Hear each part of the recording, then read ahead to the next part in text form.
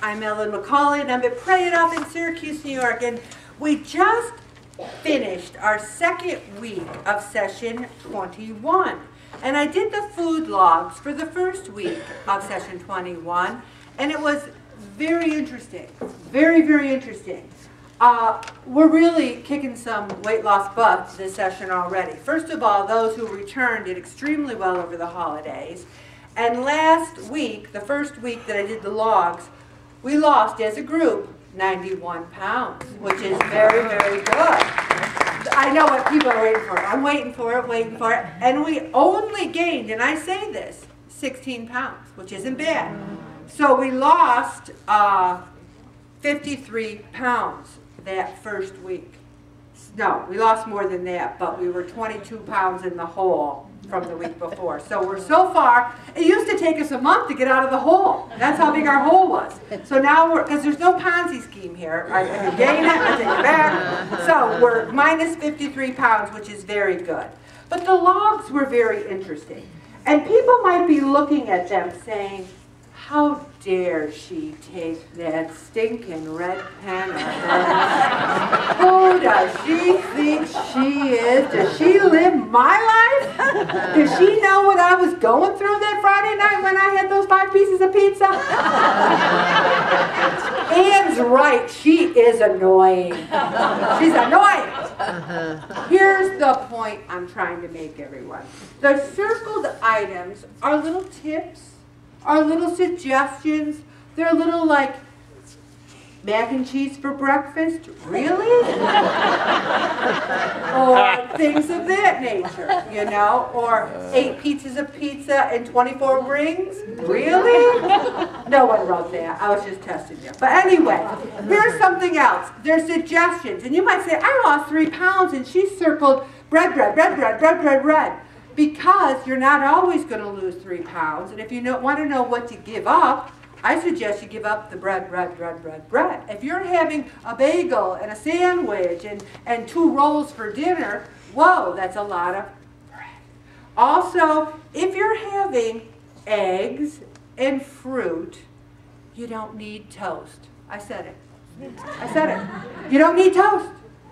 If you're having cereal and orange juice, you don't need toast. And so I'm trying to break you of the habit, and that's why I circle it. Also, what I find interesting is people think that they can write really messy, and that way I won't see that it says donut. But you see, I am really, really good at reading messy writing. I have a magnifying glass I think that says donut. When in doubt, Going to circle it, so you better write clear. Also, the contracts were very interesting. I thought they were very realistic, for the most part. No, almost all. And I think if you make a promise to yourself, if you say to yourself, I am going to change, I am going to do this, we can have the most successful session ever. And that's not the end all be all. I, I, you think I'm going to go in front of the whole Holy Family Church and interrupt Father Mano? Excuse me, I'm interrupting your sermon. We just had the most successful prayer of something ever. it's not for bragging rights for me. It's for the health of the entire group. Also, um, I just wanted to talk a little bit on the back of the food log. I want to thank Kathy, who I don't think is here tonight. She had to work. But she gave me this prayer. Thank you, God. Dear God, thank you for loving me so much. Thank you for your living, breathing, life-giving word. Help me to crave it as I crave food and drink. Amen. Amen. But here's the thing. Do we crave the Bible like we crave food and drink? Okay, Whopper with cheese, Bible. Pick. You know? I think a lot of people do not crave reading the Bible. And I'm going to talk a little bit tonight and how you can get more use to really getting into reading the Bible. So I'm going to go right to the first article for the night. And you might say, this is a religious article. It's titled, You Become What You Eat. But Just like our bodies need energy to keep our bodies going, our souls need hope to keep them going. When our body needs energy, we eat food, but when our soul needs hope, what do we feed it? Promises. Jean said tonight, there's a lot of emptiness in a person's life if you think after death there's nothing. But we believe that there is life after death, and that's called hope. That's called faith. And the promises of that hope and faith are in the Word of God. And part of hope is you can't really be hopeful about the past. The past is, is over. And you can't be hopeful about the present because you're living it. So you're hopeful about the future. We haven't achieved our weight loss goals yet. It's not June 7th. We're hopeful that we will get there. Our future is promising. Our soul will be hopeful. And if our present's miserable, maybe we hope it'll get better in the future. So we eat promises from the Word of God, and our soul digests them, believes them, and that converts to hope. We're talking about the Word of God tonight because we have to understand that do we believe it? Do we believe that Jesus Christ is the Son of God? Do we believe He took our sins on? Do we believe He died? Do we believe that? And if we do believe it, are we living our lives in such a way that we can hang our hope and our lives on that? Both physical and spiritual nutrition are important because we always become what we eat. We must take greater care, though, in what we feed our souls because so much more is at stake. I've gotten to the point now, if I'm watching a TV show and I don't like the direction it's going in, if I feel it's really immoral, if I feel like, oh, it, it's a, I turn it right off. I say to Bob, you liking this? He's like, no. I go, me neither. There's whole series that we used to think were funny and we don't even watch them anymore because they're just not what we want to feed our souls. We want to feed our souls things that make us hopeful for the future.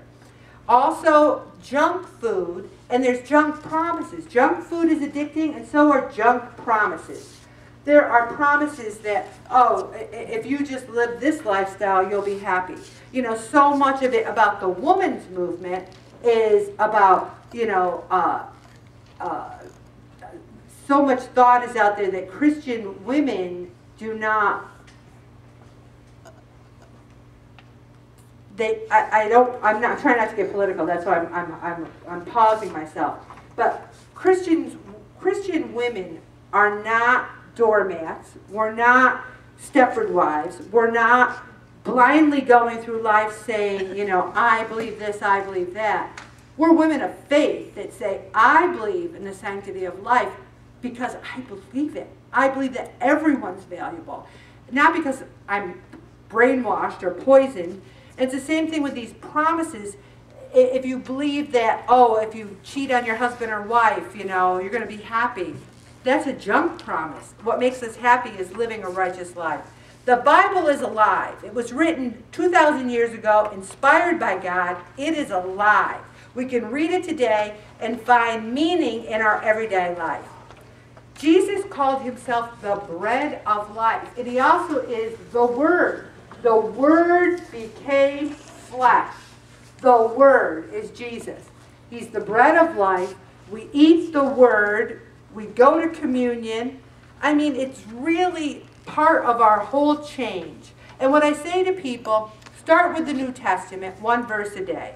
There's a Bible by the side of my bed. I'm a very busy person. But every day I read a chapter from the Bible, and not just the chapter we're doing here at Pray It Off, a different chapter. And before you know it, the time goes by, there's John, there's Matthew, there's Luke, every day. And you can read it again next year, and it'll have different meaning because your life will be different. What, what you're going through at that time will make you look at this verse more or that verse more. So it's alive. Our tastes are conditioned by habits and wrong ways of thinking about food. We need to change our taste and our habits about food and also about reading the Bible. Our taste change. I don't want fast food. I have no desire. I have not had fast food in 10 years. We haven't had McDonald's, we haven't had Burger King, we have had no fast food at all. I don't desire it, I don't want it. My taste changed. And it's the same thing about reading the Bible. It doesn't happen overnight. But if we read the Word of God, and I remember when Jessica got up here, uh, and and Jessica uh, at Table One, who's done extremely well, her, her witness is very powerful to me because she's young. And so many of us, you know, we think, oh, we're old, we've lived our lives, oh, you know, oh, you know. And, and she's young, and she said, what really has changed about me is the power of the Word of God and, and what the Word of God means in our life. And I heard that more about her testimony than I did even about her weight loss, because that has changed her life, given her hope, and, and propelled her forward. And I'm going to stop right there, Bobby.